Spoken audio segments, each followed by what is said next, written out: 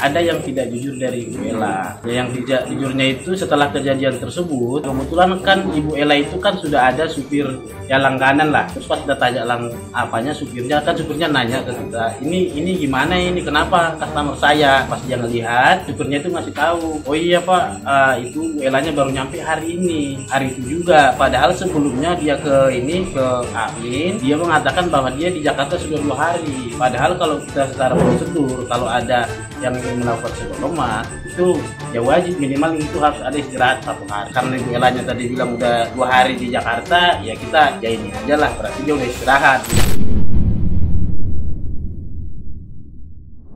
Halo Sobat Kompas TV, saat ini sedang ramai di media sosial soal selebgram asal Medan, Ella Nanda, yang meninggal dunia usai melakukan sadut lemak di salah satu klinik kecantikan di kota Depok. Kuasa hukum USJ Beauty Clinic mengklaim tindakan terhadap Elananda telah dilakukan sesuai prosedur. Lalu benarkah sudut lemak bisa menyebabkan meninggal dunia? Kita akan bahas secara lengkap dengan dokter bedah plastik Dr. Ahmad Fauzi. Assalamualaikum, selamat pagi dok. Waalaikumsalam, selamat pagi Pak Aisyah dan ya.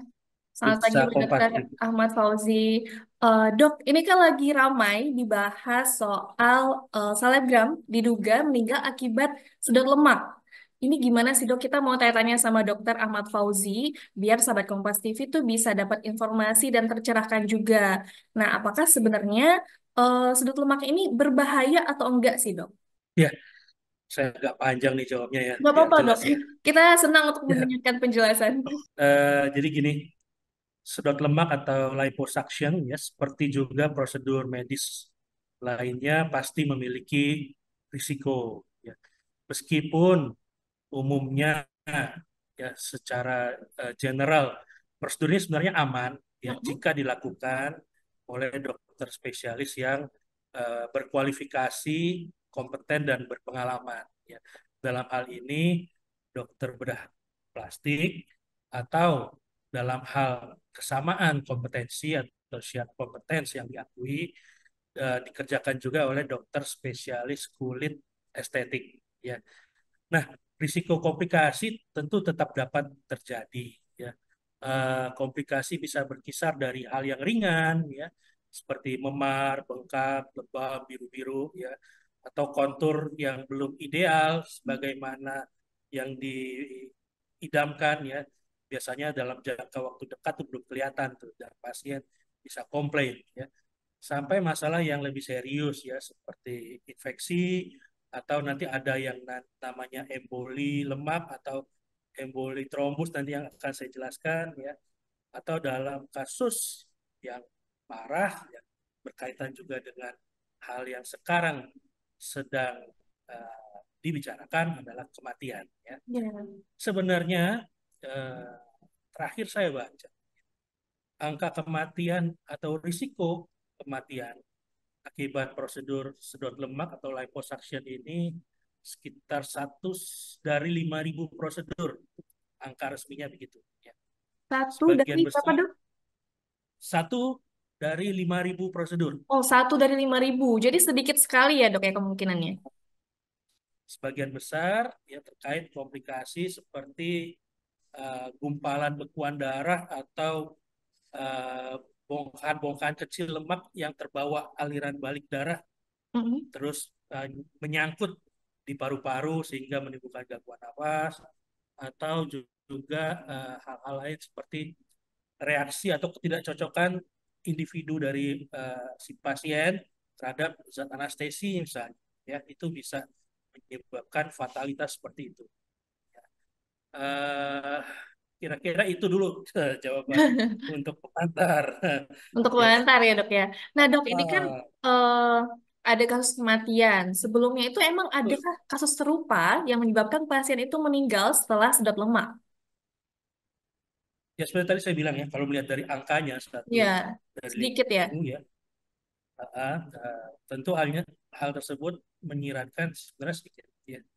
Tetapi tentu saja ya ada kasus kematian yang terdokumentasi bahkan di dalam uh, tulisan-tulisan ilmiah ya hmm. untuk mencari penyebabnya ya tidak hanya di Indonesia aja uh, kasus ini terjadi ya bahkan di Amerika Prancis Eropa ya banyak laporan juga mengenai uh, kasus komplikasi kematian uh, akibat prosedur sedot lemak atau liposuction ini ya. Penyebabnya tadi sebagian uh, sudah saya jelaskan ya. Emboli ya, itu masuknya lemak ke dalam aliran darah, mm-hmm. kemudian nyangkut di paru-paru ya. Kemudian juga pernah ada lagi laporan mengenai uh, kasus sedot lemak atau liposuction di daerah perut yang menyebabkan ketidaksengajaan perlukaan dari organ dalam pencernaan ya itu juga hmm. pernah ada kasusnya ya kemudian uh, perdarahan yang berlebihan ya artinya mungkin si pasien sendiri punya uh, kondisi di mana darahnya tidak mudah membeku sehingga untuk prosedur yang sama perdarahan dia lebih banyak ya. Hmm. nah, hal-hal tersebut juga uh, bisa menjadi berlanjut uh, sebagai komplikasi kematian ya. Meskipun kejadian ini sebenarnya jarang terjadi kalau kita lihat angkanya tadi ya eh, kejadian ini sebenarnya menyoroti betapa pentingnya seorang calon klien atau kandidat ya untuk memilih dokter spesialis operator yang berkualifikasi ya dan yang lebih penting juga selain memilih dokternya adalah bagaimana dia bisa menjalani uh, pemeriksaan dan pemenuhan syarat-syarat praoperasi secara menyeluruh. Jadi penting untuk memilih dokter yang uh, memang terverifikasi ya dok ya? Ya betul. Nah dok, uh, ini tuh dari kasus ini. Tapi kalau misalnya dari menurut dokter dari kasus yang selebgram Ella ini, menurut dokter tuh penyebabnya bisa apa sih? Uh, dari kasus almarhumah ya. Iya. Yeah. Sebenarnya kita tidak tahu pasti uh, mengenai penyebabnya ya, karena pemicu atau penyebab spesifik kematian selama prosedur sedot lemak atau liposuction itu hanya bisa dipastikan melalui proses otopsi jenazah. Ya. Hmm. Tapi uh, memberikan wawasan juga buat pemirsa dari Kompas TV. Sebuah penelitian sistematis di jurnal uh, Plastic and Reconstructive Surgery tahun 2017 mengamati atau mengikuti kasus komplikasi kematian pada kasus sedot lemak dari tahun 1973 ya.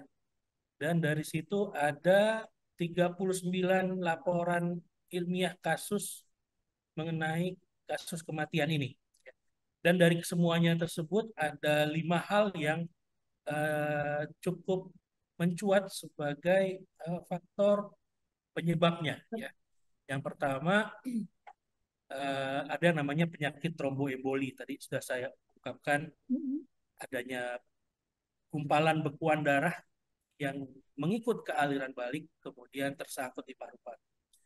Kemudian ada lagi yang namanya emboli lemak ya. Kalau emboli lemak yang ikut di pembuluh darah bukan bekuan darahnya tapi uh, gumpalan kecil dari segmen-segmen lemak yang pecah itu ya yang mengikut kepada aliran balik kemudian menyangkut di paru ya. Kemudian ada lagi kasus yang melaporkan ketidakcocokan atau intoksikasi zat anestesia lokalnya dan uh, pada kasus yang liposuction atau sedot lemak di perut ya adanya cedera atau perlukan organ dalam saluran cerna itu juga bisa ya. Nah, sekarang saya mencoba lebih sedikit lebih detail ya supaya sesi ini juga memberikan pemahaman buat teman-teman pemirsa Kompas TV ya. Kita bisa melihat sebenarnya dan memberikan uh, praduga ilmiah ya pada gejala yang dikatakan memburuk sangat segera dan cepat. Dan diamati jelas kalau uh, tampilannya berupa gejala nafas ya seperti sesak ya. Itu penyebabnya biasanya sumbatan pada paru akibat tromboemboli namanya ya. Mm-hmm. gumpalan darah ya yang terbentuk selama operasi ya yang mengalir dan nyangkut di paru-paru ya dan menyumbat ya. Uh, sebenarnya setiap operasi, setiap perlukaan pasti tubuh memiliki respons merangsang proses pembekuan darah supaya darah tidak hilang terlalu banyak. Ya. Pembekuan darah atau clotting ini itu akan nempel tuh di dinding pembuluh darah supaya menyumbat perdarahan tidak keluar lagi. Ya. Pada suatu kondisi di mana ya uh, bekuan darah atau clottingnya cukup besar sehingga harus face to face dengan aliran balik ya. Dan dia karena rapuh ya, dia kalah dan dia ikut berpindah ya si bekuan darah ini atau trombus istilahnya mengikuti aliran balik ya, sampai ke ventrikel kanan jantung, sampai ke arteri paru, ya, dia menyumbat paru. Nah, di sini menjadi gangguan buat dia nafas, jadi sesak. Ada lagi yang namanya emboli lemak pada paru, ya. Uh, mirip tapi tidak sama, ya. Bedanya adalah kalau tadi tromboemboli adalah bekuan darah atau clotting, kalau emboli lemak itu adalah uh, kerusakan jaringan lemak ya akibat proses dipecah, sodok-sodok oleh kanulnya, ya uh, menghasilkan fragmen-fragmen lemak yang kecil-kecil, halus-halus, ya. Dan kadang fragmen-fragmen tersebut ya di tempat yang ada pembuluh darah yang perforasi atau ikut terluka, dia masuk tuh ke dalam, kemudian ikut ke dalam aliran balik. Sama, dia nyangkut lagi nanti uh, di paru-paru dan menyebabkan gangguan nafas. Pada gejala lain yang juga perburukannya sangat segera dan cepat, tapi gambaran klinisnya, ya misalnya gejala agitasi ya seperti gaduh gelisah atau kejang gitu ya, itu biasanya kita menduga ilmiah penyebabnya ada masalah uh, ketidakcocokan ya atau reaksi intoksikasi dari zat anestesi lokal yang namanya lidokain. Ya. Jadi saat ini sebenarnya ada di dalam cairan yang diberikan sebelum lemak disedot. Ya. Hmm. Cairan yang sifatnya untuk mengencerkan area lemak, ya isinya adalah satu ya zat pereda nyeri atau penyaman selama tindakan si lidokain ini. Kemudian dua ada zat yang isinya uh, pengerut atau penyumbat pembuluh darah supaya si zat lidokain ini tidak serta-merta langsung masuk ke dalam pembuluh darah. Diserap ke dalam pembuluh darah.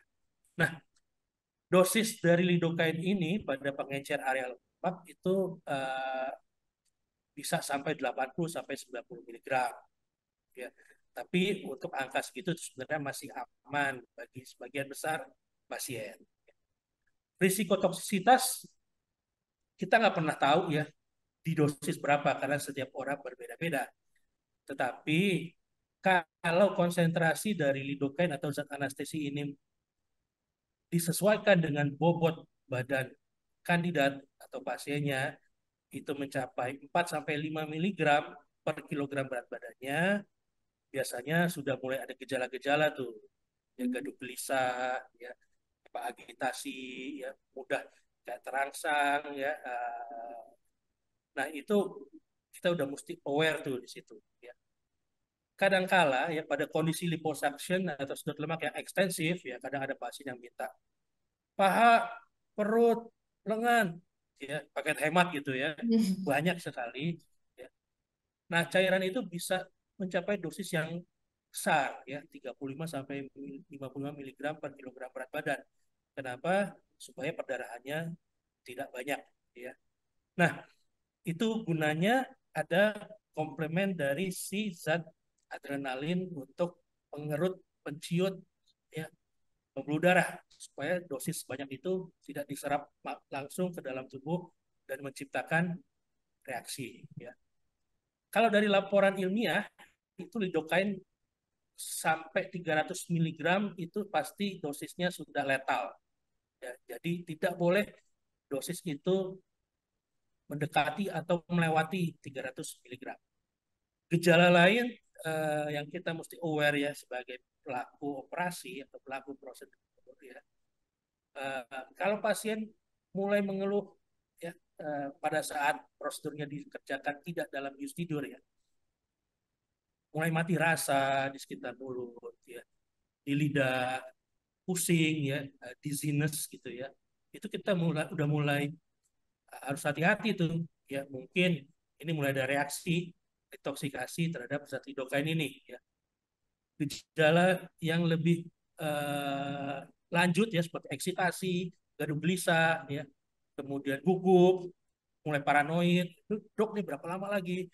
dok nih kok berapa lama lagi nah itu gejala lain yang kita mesti curiga ya di gejala yang lebih berat otot kayak berkedut-kedut gitu ya atau mungkin ya seperti yang orang sering bilang kayak kejang gitu ya kejang sendiri juga merupakan gejala yang lebih lanjut nah hal-hal tersebut itu yang mm, menjadi penunjuk bahwa kalau ada seperti itu mungkin yang bersangkutan memang tidak uh, ada reaksi terhadap uh, lidokain atau zat anestesia lokal. Di luar dari itu ya seperti tadi saya katakan ya kehilangan darah berlebihan dan signifikan selama prosedur itu bisa menyebabkan uh, shock kurangan darah, tensi turun, nadi cepat lemah ya makin drop kondisinya itu bisa. Tapi biasanya lebih lama durasinya dibandingkan yang tadi tersebut ya. Kemudian eh, pada kasus liposuction atau sedot lemak di daerah perut eh, adanya ketidaksengajaan eh, cedera organ dalam saluran cerna itu bisa menyebabkan infeksi ya kuman-kuman dari saluran cerna dari dalam usus translokasi pindah ke dalam rongga perut ya menyebabkan infeksi secara keseluruhan ya. Kondisi tubuh makin lama makin buruk dan nanti juga bisa berujung kepada kematian. Ya jadi summary-nya ya ada beberapa faktor sih yang bisa kita uh, duga ya dan bisa kita cocokkan dengan kondisi real pada saat itu. Tapi sekali lagi kondisi pastinya tetap kita harus uh, bergantung pada hasil otopsinya seperti apa jika memang diotopsi. Oke dok. Nah kalau misalnya di kasus almarhum Ella ini dia sempat kejang kan dok katanya. Nah itu mungkin gara-gara ketidakcocokan zat yang tadi dok. Bisa jadi. Hmm. Tapi kan kejang itu sebenarnya uh, agak sulit kejang versi dokter dengan kejang versi awam mungkin tidak terlalu jelas ya. Hmm. Orang kalau gasping ya uh, sesak napas juga kadang kan orang pikir eh, ini kayak kejang gitu ya padahal dia sebenarnya gasping ya. Hmm. Jadi kita masih belum bisa duga tuh ya tapi memang ya, terbanyak penyebab kematian kalau dari statistik tromboemboli dari bekuan darah yang ikut dan menyangkut di paru itu dikatakan 20 sampai 25 persen katanya. Kalau dari jaringan lemak ya yang ikut ke aliran darah dan nyangkut di paru itu kisarannya di 8-10 persen. Dua terbanyak sih memang itu yang menjadi penyebab kalau menurut uh, riset ya dari statistik.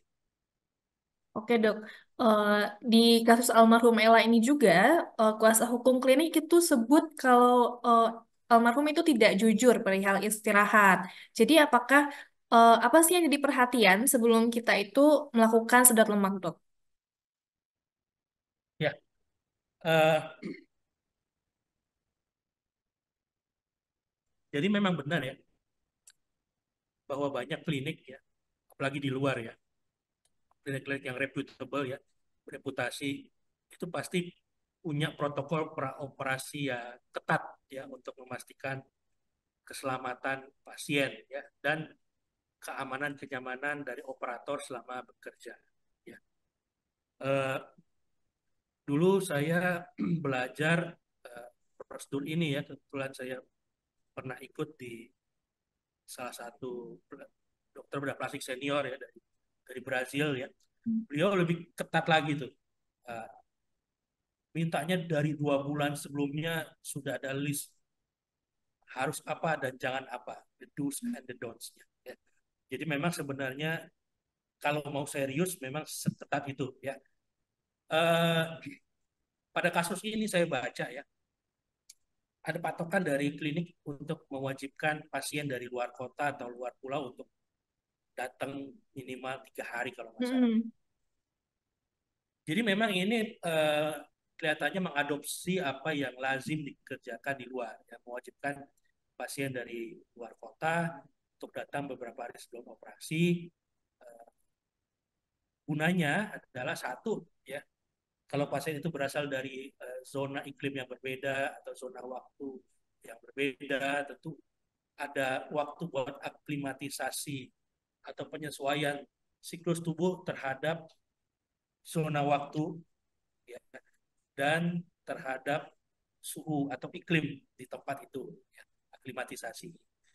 Kemudian juga uh, adanya durasi yang cukup sebelum operasi memungkinkan adanya pengecekan atau evaluasi pra operasi yang lengkap.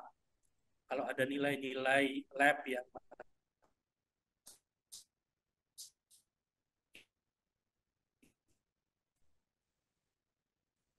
Halo dok. dulu dioptimalkan. Waktu istirahat yang tepat, ya, yang cepat, tepat, ya, dan cukup, ya, sehingga tubuh nanti bisa uh, melakukan uh, respons yang baik terhadap prosedur yang diberikan. Nah, periode ini tentunya jelas membantu memastikan pasien dalam kondisi kesehatan dan kebugaran yang prima, yang optimal sebelum prosedur tentunya diharapkan kalau ini diikuti risiko komplikasi akibat uh, kalau istilahnya surgical stress ya kalau kita istilahnya. Stres operasi stres sel dan jaringan tubuh terhadap tindakan operasi ya itu bisa lebih berkurang ya. Stres akibat uh, exhaustion atau letih selama perjalanan juga sudah diminimalisir ya. Dan uh, terkait dengan cukup waktu untuk melakukan check up yang lengkap tentu memastikan kondisi medis lain yang tidak terdiagnosis bisa uh, terdeteksi dengan tepat dan mungkin bisa ada pengelolaan dulu sebelum itu kira-kira begitu. Nah dok ini terakhir nih dok, uh, kan ini udah ada kejadian yang kita sangat sayangkan sekali ya dok. Uh, mungkin dokter tuh bisa mengedukasi sahabat Kompas TV itu kalau misalnya ingin melakukan ada yang ingin tertarik melakukan sedot lemak itu kita apa sih yang bisa kita lakukan biar kejadian ini nggak terulang kembali? Ya ya baik. Uh, sebelum menjalani prosedur tidak hanya sedot lemak ya atau liposuction hmm. ya sebenarnya prosedur uh, estetik apa pun atau bahkan prosedur medis apa pun ya tentu kita eh, atau pasien kandidat itu harus mempertimbangkan hal-hal berikut ya. Pertama paling penting ya dan harus mulai dibiasakan ya, adalah mengevaluasi kualifikasi dokter operatornya seperti apa ya. Dalam lingkup sempit nih kita ngomong soal liposuction atau sedot lemak ya. Tentu kita pastikan dokter spesialis yang mengerjakannya merupakan uh, dokter yang bersertifikat resmi ya atau board certified ya baik itu dokter spesialis bedah plastik rekonstruksi estetik atau dokter spesialis dermatologi estetik ya dalam kompetensi yang bersamaan ya. kemudian uh, menjadi nilai plus kalau yang bersangkutan punya pengalaman yang cukup banyak dalam bidang spesifik prosedur liposuction atau sedot lemak ini ya. Untuk menelusuri kandidat ini beneran dokter spesialis bedah plastik atau dokter spesialis dermatologi estetik ya. Kalau zaman sekarang kan lebih mudah ya. Kita bisa cari telusuri kalau bedah plastik itu ada di halaman kami di inapras.org ya atau kalau dokter spesialis kulit dia punya mereka punya website perhimpunan sendiri namanya webperdoski.id ya untuk dokter spesialis kulit. Di situ ada fitur untuk mencari, mengecek dokter bisa dan silakan dimanfaatkan supaya prosedur ini kelak dilaksanakan hanya ya oleh dokter spesialis bedah plastik yang kompeten atau oleh dokter spesialis dermatologi estetik yang kompeten. Ya. Kemudian yang kedua tentunya uh, status kesehatan dari individu kandidat juga penting, penting banget malah ya. Biasakan kalau orang Indonesia kan memang tidak terbiasa untuk regular check up ya, tidak kayak di luar. Hmm. Tapi setidaknya sebelum menjalani prosedur yang penting seperti ini, kalau bisa ya evaluasi kesehatan menyeluruh lah, general check up buat mengidentifikasi dulu ya kondisi apa pun yang nantinya mungkin dapat meningkatkan risiko pembedahan risiko prosedur meskipun sedikit. Ya. Kemudian juga yang uh, tidak banyak diomongkan, ya, itu harus ada penyamaan persepsi harapan yang realistis. Ya. Pasien dan dokternya harus duduk bersama, diskusi, saling memberikan uh, pandangan dan pada akhirnya memiliki kesepahaman yang sama nih. Apa yang mau dicapai, apa yang bisa dicapai, apa yang tidak dapat dicapai dalam kesempatan berikut ya. Mungkin ada kesempatan lainnya ya. Dan nantinya hasil realistisnya seperti apa. Jadi tidak eh, terjadi hanya satu arah ya kayak dari pasien pinginnya ini hmm. dokter memfasilitasi semuanya ya meskipun ada pengetahuan tentang itu ya risikonya mungkin lebih tinggi kalau dilakukan multiple prosedur ya kemudian juga dari aspek pasien ya kalau bisa ya memastikan bahwa prosedur yang akan dia jalani dilakukan di fasilitas yang eh, baik, fasilitas yang lengkap ya. Dan kalau zaman sekarang biasanya semua fasilitas kesehatan ya baik rumah sakit maupun klinik pasti sudah terakreditasi. Ya. Adanya penanda sudah terakreditasi menandakan bahwa kita bisa dengan safe ya dengan aman, nyaman, selamat melakukan prosedur medis di tempat itu. Ya, jadi jangan sungkan-sungkan di browsing tuh ya rumah sakit ini atau klinik ini akreditasinya seperti apa.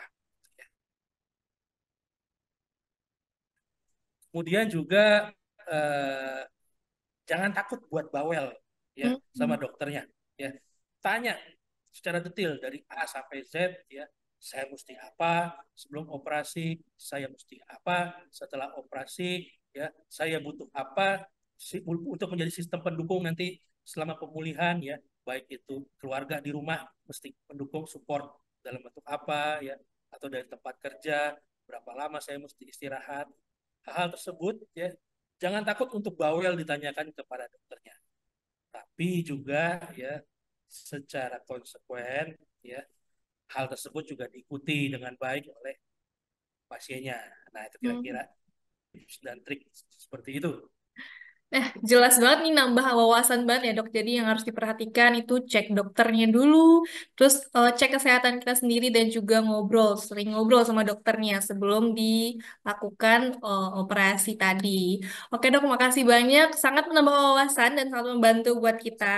Terima kasih atas waktunya di Kompas TV. Eh, sehat selalu. Assalamualaikum warahmatullahi wabarakatuh. Waalaikumsalam warahmatullahi wabarakatuh. Nah, sahabat Kompas TV sudah sangat jelas ya dari keterangan dokter Ahmad Fauzi tadi, sedot lemak tidak berbahaya asal dilakukan oleh dokter yang sudah bersertifikasi. Saya Aisyah Malia Putri, pamit undur diri, sehat selalu, bye!